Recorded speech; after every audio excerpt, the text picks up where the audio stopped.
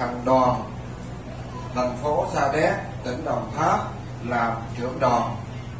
Kính thưa quý phái đoàn, có Hòa Thượng Thượng Thiện Hạ Huệ, thành viên Hội đồng Chứng minh Trung ương, nguyên ủy viên Hội đồng trị sự Giáo hội Phật giáo Việt Nam, nguyên trưởng ban trị sự Giáo hội Phật giáo Việt Nam tỉnh Đồng Tháp nhiệm kỳ 6, nhiệm kỳ 7, hiệu trưởng trường trung cấp Phật học tỉnh Đồng Tháp, trụ trì chùa Phước Hưng.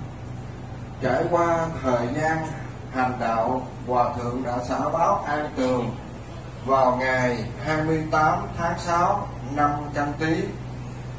Hôm nay trên linh thờ tinh thần đạo pháp và dân tộc, quý vị nhận được tin có Hòa Thượng viên tịch Quan Long về trước giác linh đài để cử hành lễ dân hương tưởng niệm.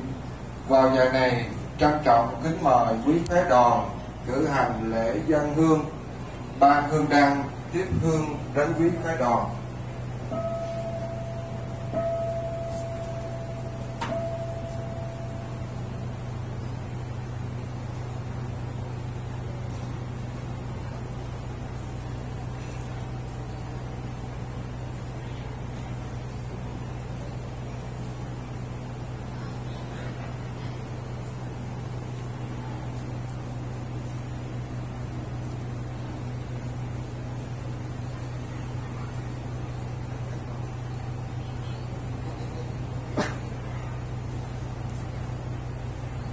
A Di Đà Phật.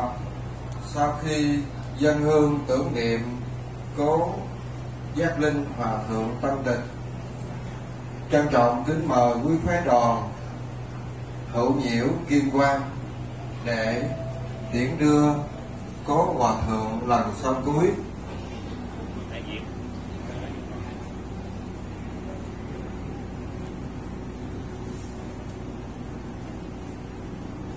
Nam mô Bổn sư Thích Ca Mâu Ni Phật.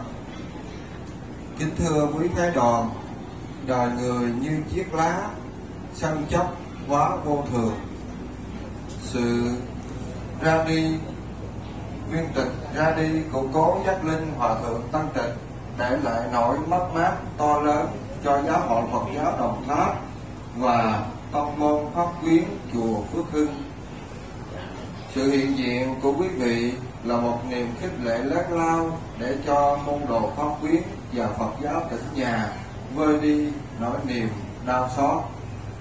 Thành kính tri ân sự hiện diện của quý vị sau khi hữu nhiễm kim quang, xin trân trọng kính mời quý phái đoàn quan hiểu thăng long đến trước bàn đăng ký để ký vào sổ tang lưu niệm kính thưa quý phái đoàn vào ngày 22 tháng 8 năm 2020 nhằm ngày